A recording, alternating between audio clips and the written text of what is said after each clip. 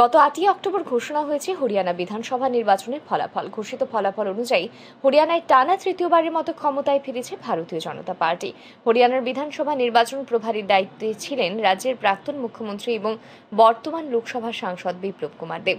দু হাজার আঠারো সালে বিপ্লব কুমার দেবের নেতৃত্বে বামেদের দীর্ঘ পঁচিশ বছরের অপশাসন থেকে মুক্তি পেয়েছিল ত্রিপুরা। তাই রাজ্যবাসীর মুক্তির কাণ্ডারি হিসেবেই পরিচিত তিনি।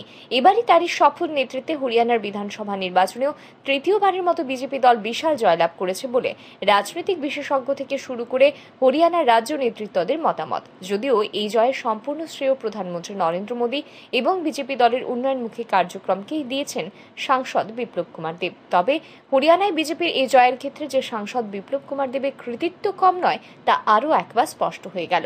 মুখ্যমন্ত্রী হিসেবে শপথ নেওয়ার পর সোমবার নয়াদিল্লিতে রাজ্যের প্রাক্তন মুখ্যমন্ত্রী তথা হরিয়ানার নির্বাচনী প্রভারী সাংসদ বিপ্লব কুমার দেবের বাসভবনে গিয়ে তাকে অভিনন্দন ও শুভেচ্ছা জানালেন হরিয়ানার নবনির্বাচিত মুখ্যমন্ত্রী নয়াব সিং সাইনি। এদিন মিষ্টিমুখ এবং উষ্ণ আলিঙ্গনে একে অপরের সাথে শুভেচ্ছা বিনিময় করেন সাংসদ বিপ্লব কুমার দেব এবং হরিয়ানার নবনির্বাচিত মুখ্যমন্ত্রী নয়াব সিং সাইনি। ব্যুরো রিপোর্ট আর ই নিউজ।